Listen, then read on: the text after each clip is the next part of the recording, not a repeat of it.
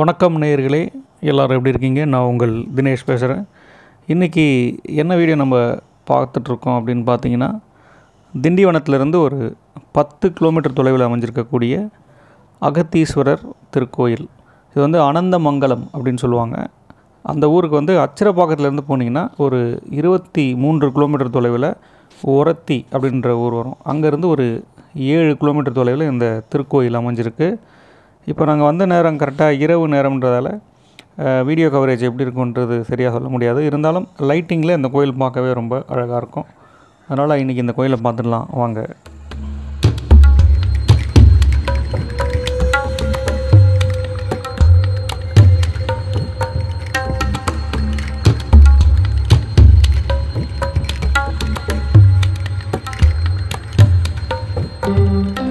திண்டிவனத்திற்கு அருகில் இருக்கக்கூடிய அனந்தமங்கலம் அப்படின்ற கிராமம் வந்து ஊருக்கு வெளியில் ஒரு சிறிய குன்றின் மேலே தான் வந்து அமைஞ்சிருந்தது.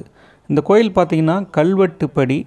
இந்த கோயில் முதலாம் குலோத்துங்க சோழனால் நிர்மாணிக்கப்பட்டு இறைவன் ஸ்ரீ அகதீஸ்வரர் என்று எல்லாராலையும் அறிய முடிஞ்சது.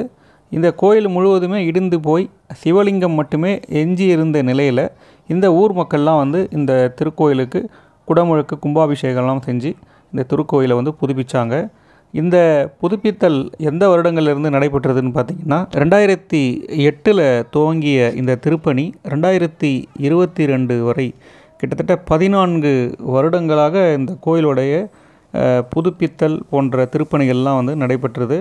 ரவிச்சந்திரன் அப்படின்ற ஒரு சிவபக்தர் தான் வந்து இந்த புதுப்பித்தல் பணியில் முக்கிய பங்காற்றிருக்கிறாரு அப்படின்றத இந்த ஒரு கல்வெட்டு உள்ளே வச்சுருக்காங்க. அதுலேயும் நம்ம பார்க்கலாம். இந்த திருக்கோயிலுடைய ஸ்பெஷல் என்ன அப்படின்னு பார்த்தீங்கன்னா இங்கே வந்து பழைய சிவலிங்கம் உள்ள திருக்கோயிலாக இருந்தாலும் இந்த இடத்துல வந்து அனந்தமங்கலம் அப்படின்ற பெயருக்கு ஏற்றாற் போல் இங்கே ஒரு பெருமாள் சன்னதியும் உள்ளே இருக்குது அதில் வந்து அனந்த கோலத்தில் அதாவது சயன கோலம்னு சொல்லக்கூடிய அந்த ரங்கநாத பெருமாள் வந்து உள்ளே இருப்பார். அதனால தான் இந்த திருக்கோயில் வந்து பெருமாளையும் சிவனையும் நம்ம வந்து சேர்த்து தரிசனம் பண்ணலாம். கோயிலை பார்த்தீங்கன்னா நீங்கள் பாருங்கள் பக்கத்துலேயே வந்து பாறைகள்லாம் இருக்கக்கூடிய இந்த ஒரு மலைக்கோயிலாக தான் இது இருந்துச்சுன்னு சொல்லுவாங்க.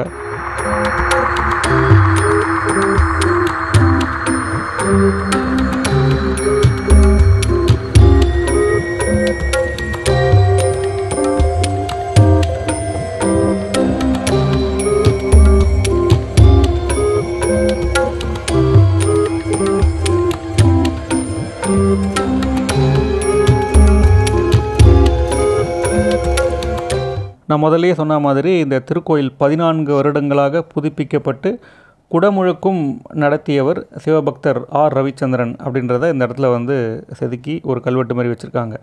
பாருங்கள் குழந்தைங்களாம் வந்து தியானம் பண்ண ஆரம்பிச்சிட்டாங்க.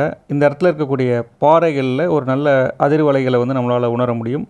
ஆயிரம் ஆண்டுகள் பழமையான இந்த சிவன் கோவிலில் பார்த்திங்கன்னா முதல் இரண்டு அடுக்குகளை கொண்ட ஒரு திருக்கோயிலாக வந்து இதை அழகாக புதுப்பிச்சு கட்டியிருக்காங்க. அதில் வந்து முதல் அடுக்கு அதாவது முதல் மாடி மாதிரி இருக்கும். அது மேலே ஏறி போனீங்கன்னா பெருமாள் சன்னதியை பார்க்கலாம். ரங்கநாதர் பெருமாள் போன்ற அந்த பெருமாள் சன்னதியை பார்த்துட்டு நம்ம மூன்றாம் அடுக்கு மேலே போயிட்டு ஏறி பார்த்தோம்னா அகதீஸ்வரரை தரிசனம் செய்யலாம். அவர் தான் இந்த கோவிலில் இருந்த மிக பழமையான ஒரு சிவன். அதை பார்த்துட்டு இப்போ நீங்கள் பார்த்துட்டு இருக்கக்கூடிய இந்த பாதாள விநாயகர் அவரை வழிபடலாம்னு சொல்லிட்டு இந்த குகை மாதிரி இருக்குது பாருங்கள் இதுக்குள்ளே போனீங்கன்னா பாதாள விநாயகர் ஒரு சிலை இருக்கும். அந்த இடத்துல வந்து உண்மையிலேயே சொல்லலாங்க நல்ல ஒரு வைப்ரேஷன் கிடைக்கும். அமைதியாக உட்காந்து தியானம் பண்ணிங்கன்னா ஒரு நல்ல பாசிட்டிவ் வைப்ரேஷனை வந்து நம்மளால் கண்டிப்பாக உணர முடியுங்க. ஏன்னா ஞானிகள் யோகிகள்லாம் வந்து இந்த மாதிரியான இடத்த தான் தேர்ந்தெடுத்து தவம் பண்ணுவாங்க. அந்த ஆற்றலை வந்து நம்ம கண்டிப்பாக அந்த இடத்துல உணரலாம். இங்கே தான் வந்து விநாயகரை வச்சுருக்காங்க. அந்த பாதாள விநாயகரையும் நம்ம வழிபட்டுட்டு அப்படியே பக்கத்தில் வந்தோம்னா மற்ற தெய்வங்களெல்லாம் வந்து நம்மளால் உணர முடியும். இந்த பாதாள விநாயகரை வணங்குறதுக்கு பத்து ரூபாவோ என்னதோ டிக்கெட் கொடுக்குறாங்க. அந்த டிக்கெட்டை வாங்கிட்டு தான் உள்ளே அலோவ் பண்ணுறாங்க அதையும் கொஞ்சம் பார்த்துக்கோங்க. இப்போது நம்ம இந்த திருக்கோயிலை வந்து இரவு நேரத்தில் வந்து தரிசனம் செஞ்சதால் ரொம்ப டீட்டெயிலாக நம்மளால் பார்க்க முடியல. ஆனால் இந்த கோயிலை சுற்றி நிறைய இடங்கள் ரொம்ப அழகாகவே இருந்துச்சு. நான் பகலில் ஒன்றா எப்போனா இந்த கோயிலுக்கு வந்தேன்னா அதை பற்றிலாம் உங்களுக்காக காட்டுறேன். இந்த ஊரில் வந்து சமணர் படுகைக்கான கல்வெட்டுகள்லாம் கூட இருக்குன்னு சொல்கிறாங்க அதனால் இன்னொரு முறை கண்டிப்பாக நம்ம இந்த ஊரில் இருக்கக்கூடிய கல்வெட்டுக்கு தனியாக ஒரு வீடியோவை கூட போட்டுட்டு அந்த காலத்தில் சமணர்களுடைய வருகை அதை பற்றி நம்ம ஃப்யூச்சரில் முடிஞ்சால் பார்க்கலாம். இந்த கோயம்புத்தூர் ஈஷா யோகா மையத்தில் இருக்கக்கூடிய அந்த ஆதியோகி சிவனை போலவே இங்கே ஒரு சிவன் சிலையும் வச்சுருக்காங்க. ஆனால் அது அந்த அளவுக்கு இல்லைனாலும் பார்க்க கொஞ்சம் நல்லா தான் இருக்குது இந்த இடத்துல வந்து ஒரு அழகான ஸ்பேஸ் கொடுத்துருக்காங்க. பசங்களாம் வந்து நல்லா ஓடி விளையாடி விளையாடக்கூடிய அளவுக்கு ஒரு அழகான இடமா இருக்குது உட்காந்து நல்லா நம்மளால் காற்று வாங்கவும் முடியுது. பக்கத்தில் அழகான பனை மரங்கள்லாம் நாங்கள் பார்த்தோம். ஆனால் அது வந்து பகல் நேரத்தில் கண்டிப்பாக வீடியோ எடுத்திருந்தால் இன்னுமே நல்லாயிருக்கும் அப்படின்னு தான் தோணுச்சு.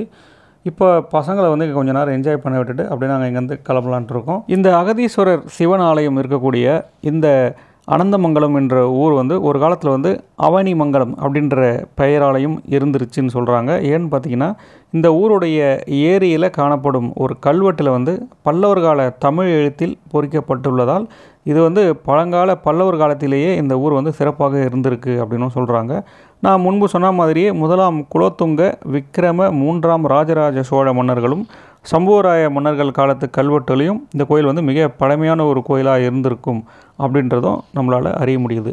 ஓகேங்க இந்த திருக்கோயிலுக்கு நீங்கள் எப்படி வரணும் அப்படின்னு பார்த்தீங்கன்னா அஹ், மேல்மருவத்தூர் அச்சிரப்பாக்கத்துலேருந்து உரத்தி செல்லக்கூடிய பஸ்ஸில் வந்து அங்கேருந்து ஏழு கிலோமீட்டர் தொலைவில் நீங்கள் வரலாம். அப்படி இல்லைன்னா திண்டிவனத்துலேருந்து பத்து கிலோமீட்டர் தொலைவில் இந்த திருக்கோயில் அமைஞ்சிருக்கு.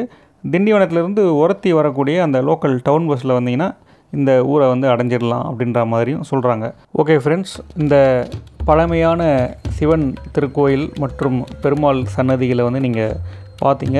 இது வரைக்கும் நம்ம சேனலை யாராவது சப்ஸ்கிரைப் பண்ணாமல் இருந்தீங்கன்னா கண்டிப்பாக சப்ஸ்கிரைப் பண்ணிக்கோங்க. மீண்டும் ஒரு நல்ல வீடியோ வரும் முறை உங்களிடமிருந்து விடைபெறுவது உங்கள் தினேஷ்.